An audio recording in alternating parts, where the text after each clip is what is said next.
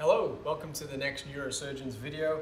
In this video, we're going to talk about some of the common instruments which we use in our neurosurgery operating theatre. That's Mohammed behind the camera. I'm Adi. This is the Neurosurgeons channel.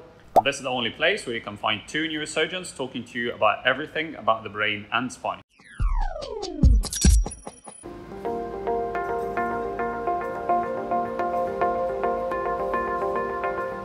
So, as we said today, we'll show you some of the most important neurosurgical instruments. Uh, we'll start with this one. It's a glove, as you can see. Everyone knows that.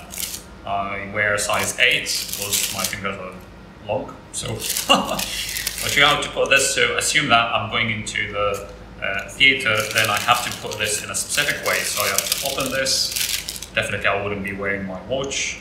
Then just put this in.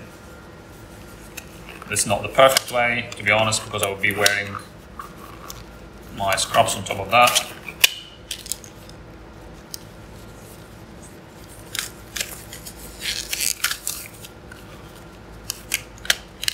Then we're ready to go.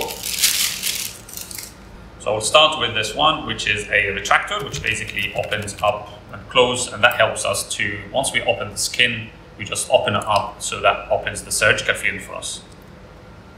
Next is this instrument, which is called the Kerrison. Sometimes we call it upcut, which as you can see, it opens up and closes, and that helps us to nibble the bone. We can use it in the uh, head or in the spine and just helps us to take the bone off, which will expose the surgical field for us. Next on the table, as you can see, there's a big thing here. This is called a Mayfield, which is basically we use it to fix the patient's head. Again, we have Bob the brain again here.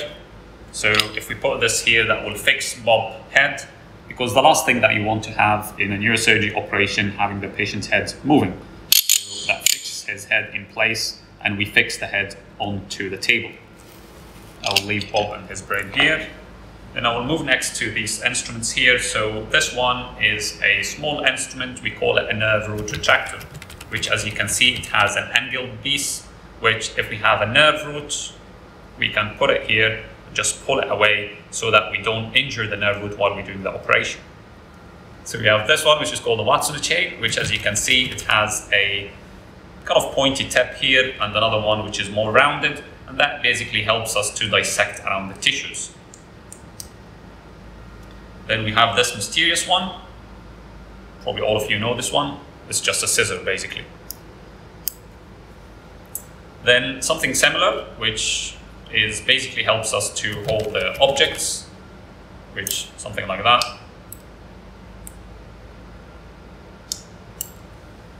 And then we have this, which gets connected through these two little pieces here to a machine, which basically helps us to control any bleeding. So once we put this on a bleeding point, and then we put it like this, and press on the pedal, that creates an electrical current, which basically stops the bleeding from the blood vessels. Next is one of the most important uh, instruments in neurosurgery, which you can see here, it's called drill. And as you can see, this drill is connected to a piece here which is the drill bit, which helps us to drill through the patient's head and the bone. I'll just turn this on now. That's moving. And you can see the difference. There are two different parts of this, which looks different, and we use it in different parts of the operation. Then we have two screws here. And these are basically the screws that we put in the patient's spine where we're doing an operation to fix the spine. These are the screws that goes into their spine. We just screw it and we use an x-ray and the anatomical landmarks in the patient's spine just to put it in the right place. This is how it looks like. Finally, we have this one, which is basically an ICP. An ICP refers to intracranial pressure monitor, which basically this connects into a monitor and this little piece here is basically a high-tech thing which goes into the patient brain. I'll just put it in Bob the brain head. And then will give us a reading of the um, Bob's intracranial pressure, and that will help us to guide the treatment.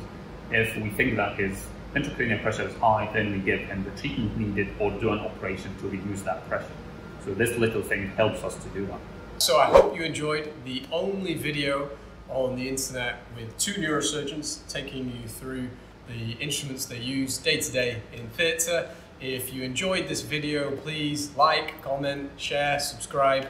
Tell us what you liked. It helps us improve the content that we make and it gives us that boost to keep going. See you in the next one.